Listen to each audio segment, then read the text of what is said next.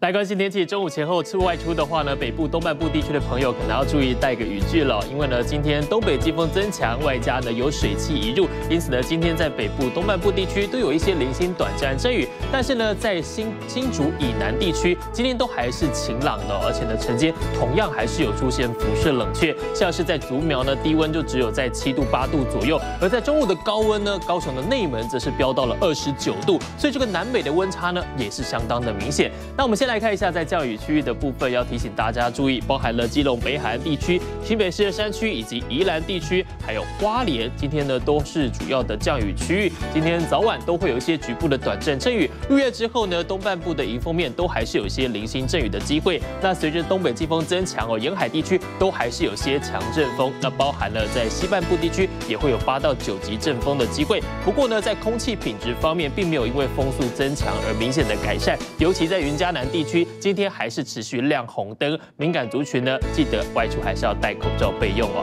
下午详细预测提供给您。